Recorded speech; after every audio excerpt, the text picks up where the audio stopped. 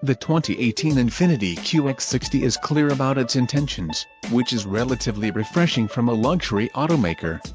From the outside, the three-row crossover doesn't hide its elegant interior with a plunging roofline or bulging fenders. Its big doors are designed for easy entry-exit, especially in the third row, and its big hatch is excellent in swallowing gear. Call it truth in advertising. This year the 2018 QX60 is pared down to a single model, the slow-selling QX60 Hybrid was axed, available in front or all-wheel drive.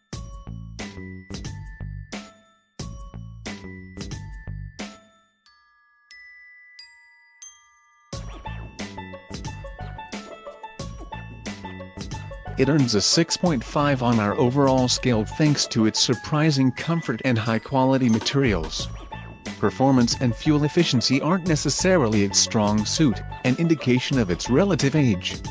A 3.5-liter V6 mated to a continuously variable automatic transmission, CVT, is the only power plant offered this year. Infiniti prefers to sell the QX60 in a single trim level, with multiple options that can transform it into a luxurious, and expensive, crossover.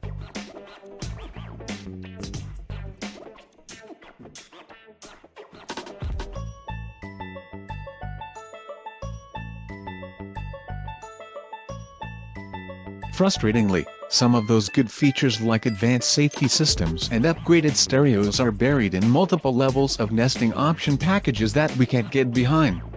Even base versions of the QX60 are fitted with leather upholstery, 18-inch wheels, and an 8.0-inch touchscreen for infotainment.